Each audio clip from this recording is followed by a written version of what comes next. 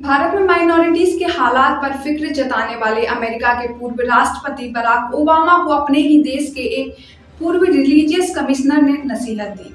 US commission on international religious freedom के पूर्व commissioner Johnny मूर के मुताबिक ओबामा को अपनी एनर्जी भारत की बुराई करने पर नहीं, बल्कि उसकी तारीफ़ करने पर खर्च करनी चाहिए। उन्हें याद रखना चाहिए कि अमेरिका में भी रिलीजियस फ्रीडम के हालात कुछ ज़्यादा अच्छे नहीं हैं। प्रधानमंत्री नरेंद्र मोदी की हाल ही में अमेरिका यात्रा के दौरान, एक प्रेस कॉन्फ्रेंस के दौरान एक पत्रकार ने प्रधानमंत्री से भारतीय अल्पसंख्यकों से जुड़ा एक सवाल दागा उसी दरमियान ओबामा ने एक इंटरव्यू में भारत में अल्पसंख्यकों की स्थिति पर सवालिया निशाना लगाए थे। ओबामा ने कहा था कि प्रेसिडेंट बाइडेन को मोदी से इस बारे में बात करनी चाहिए।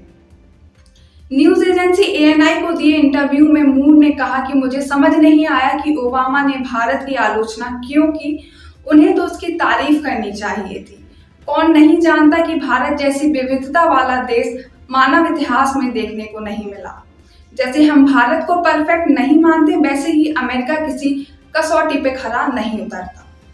इसी तरह की अपडेट जानने के लिए जुड़े रहिए हमारे साथ। तब तक के लिए धन्यवाद।